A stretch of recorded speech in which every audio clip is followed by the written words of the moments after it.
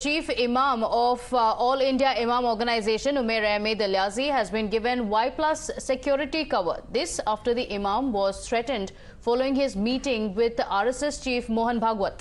And during that meeting that happened last month, Imam Ilyasi had called Bhagwat as Rashtrapita, drawing ayah from the radicals as well. But thereafter, he said that he has been receiving threat calls from India and from abroad, taking, uh, asking him to take back his words and to apologize or to face dire consequences. Let's first listen in to the chilling threats that the Imam had received because he continues to say that he will not back down from his comment that he made despite the threats he and his family has been receiving. मैं मैंने मैंने किसी का अपमान नहीं किया। मुझे आपसे सर्टिफिकेट नहीं चाहिए। आप सुनो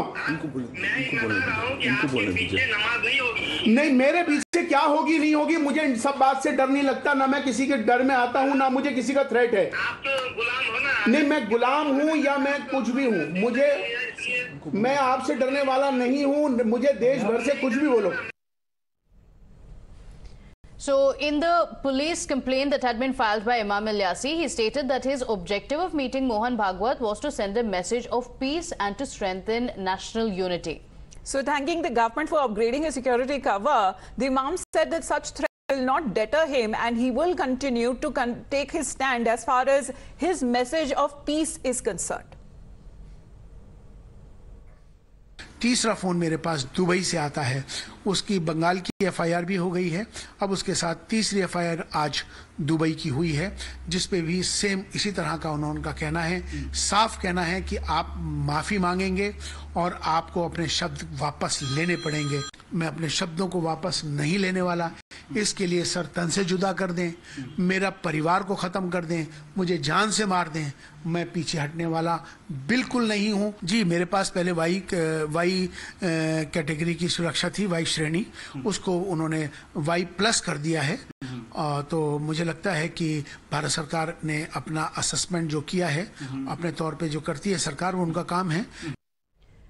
Well, Imam Ilyasi leads the biggest organization of imams in the world, having over half a million imams in India as its members. So the irony is that a top imam who is trying to eh, improve the interfaith relations is being threatened and this has led to this security cover being increased. But on the other hand, there's no end to the chilling beheading calls that are also being issued in different parts of the country, almost as if there is zero fear of law.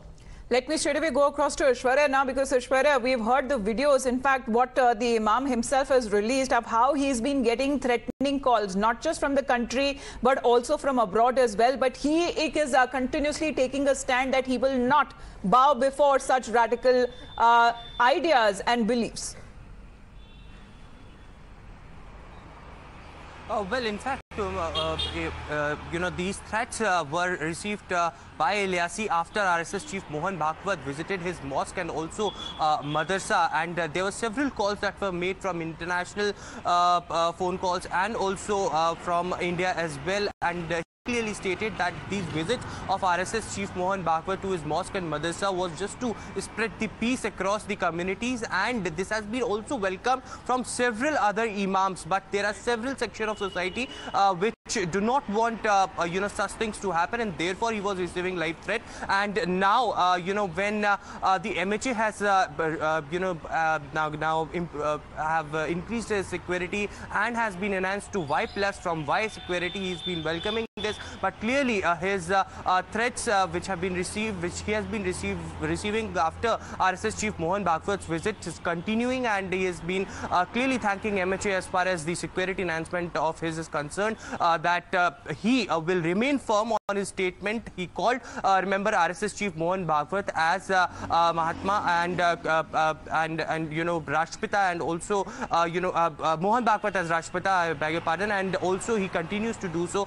he clearly stated that he it was personal comment. It was not uh, uh, you know uh, what what uh, you know each and every individual should do. He uh, clearly respects RSS chief Mohan Bhagwat and therefore the reason perhaps uh, you know a lot of section of society does not want you know such statements and therefore the reason he is receiving the life threats.